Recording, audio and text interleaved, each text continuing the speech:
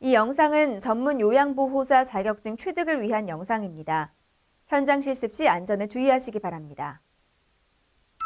의복 교체 순서 안내입니다. 대상자에게 자기소개 후 진행 순서를 설명합니다. 진행 전 손을 씻고 일회용 장갑을 손에 낍니다. 필요 물건을 준비합니다.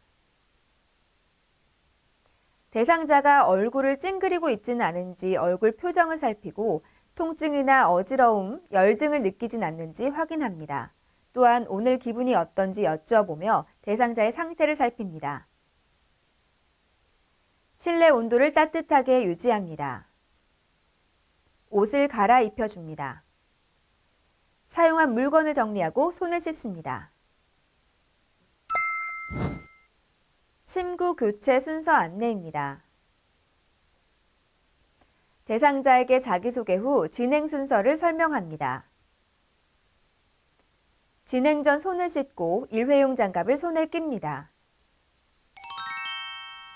필요 물건을 준비합니다.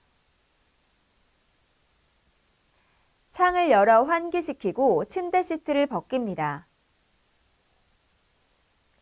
매트리스 위에 부스러기와 먼지 등을 제거합니다.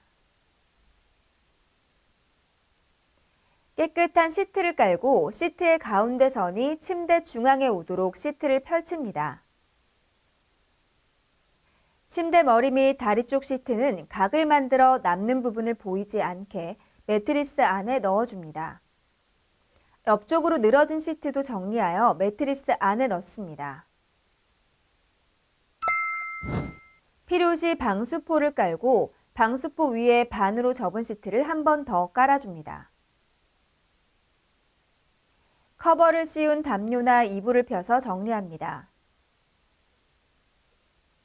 베개 커버를 바꾸고 베개 커버의 남은 부분은 보이지 않게 안쪽으로 접어 넣습니다.